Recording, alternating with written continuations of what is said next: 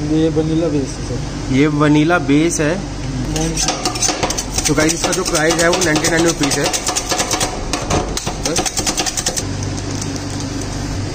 ये वाडी हो चुकी है। आप देख सकते हैं कितनी बढ़िया लग रही है दिखने में। तो guys welcome to fort junction so guys आज हम आए हैं रॉ क्रीम पे जो कि लोकेटेड है जनकपुरी के अंदर।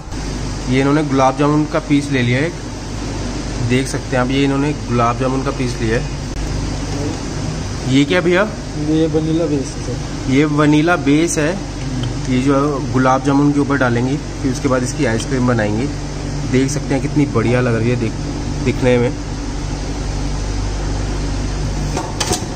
ये देखिए ये आइसक्रीम है। ये अभी इसकी आइसक्रीम बन जाएगी।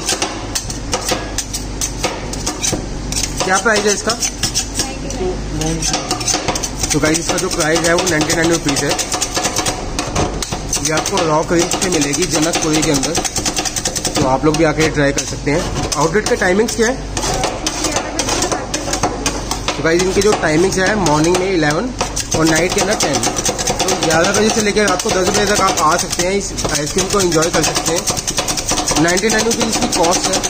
देख सकते हैं कितनी बढ़िया लग रही है।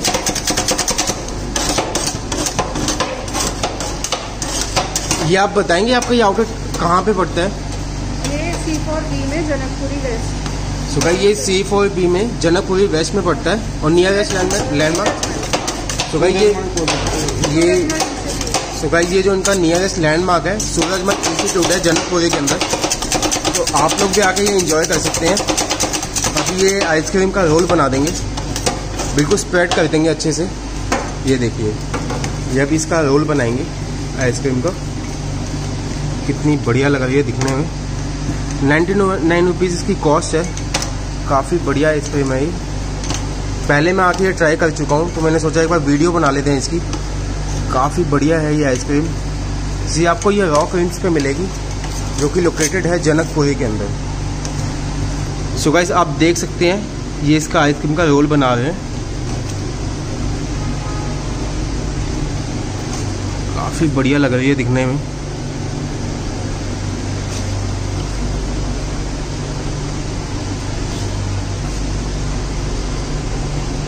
किसी दिन क्लोज भी होता है आउटलेट सैटरडे सैटरडे को इनका आउटलेट जो है वो क्लोज होता है। तो आप लोग सिक्स डेज़ आके इसको एंजॉय कर सकते हैं। संडे को भी इनका ओपन रहता है वीकेंड वाले दिन।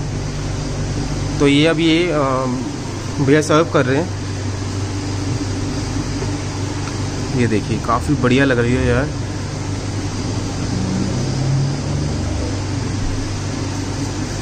कितने पीस जाएँगे इसके अंदर? छः पीस जाएँगे?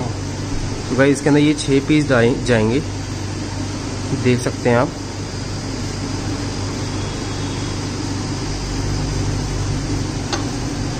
हो गए रेडी अभी कुछ जाएगा ऊपर से? ये थोड़ा बहुत इन्होंने स्प्रिंकल कर दिया है। देख सकते हैं। ये वाइट ये चोको चिप डाल दिया इन्होंने। ये इन्होंने ऊपर से छोटा सा पीस गुलाब जामुन का डाल दिया। भैया, हो गई रेडी है सो गाइस ये हमारी गुलाब जामुन आइसक्रीम जो है, वो रेडी हो चुकी है। आप देख सकते हैं कितनी बढ़िया लग रही है दिखने में। तो मैं एक बार इसको टेस्ट कर लेता हूँ, आपको बता देता हूँ इसका टेस्ट कैसे। है सो गाइस ये हमारी आइसक्रीम आ चुकी है। आप देख सकते हैं कितनी बढ़िया आइसक्रीम लग रही है तो असली गुलाब जामुन डाला है इसके अंदर। ये देखिए, ऊपर के गुलाब जामुन है। तो मैं एक बार ट्राई करके बता देता हूँ, इसका टेस्ट कैसा है। रियल गुलाब जामुन की आइसक्रीम है। कोई इन्होंने सिरप यूज़ नहीं किया। काफ़ी बढ़िया लग रही है तो।